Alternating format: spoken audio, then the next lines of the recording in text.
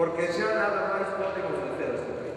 A exclusión do século XX necesitamos solver porque non poden tirar de realidade. Hai algúns... É comprensible o seu nerviosismo.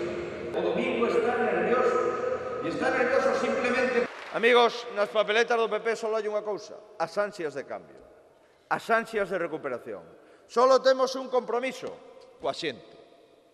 Non temos compromiso nin co BNG, nin temos compromiso co PSOE, nin vamos a gobernar co PSOE, nin vamos a gobernar co BNG, nos vamos a gobernar cos que nos voten. Con esos vamos a gobernar. Coa xente que é a que nos vota, a que nos vota.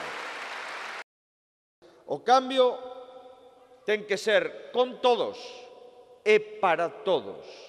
E por eso, amigos, volvo a reiterar, de hoxe en sete días vamos a votar o cambio. Vamos a convertir as enquisas en papeletas. Vamos a convertir as conversas en reconto de votos.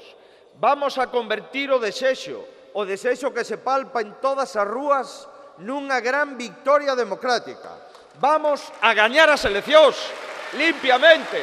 É o que vamos a facer, gañar limpiamente, como sabemos facer. E agora España necesita de boas medidas económicas. E a primeira medida económica, dende logo, non a vai a tomar o goberno que se vai. Nin siquiera a vai a tomar Europa, nin a vai a tomar os Estados Unidos, nin siquiera vai a tomar o goberno que salga das urnas.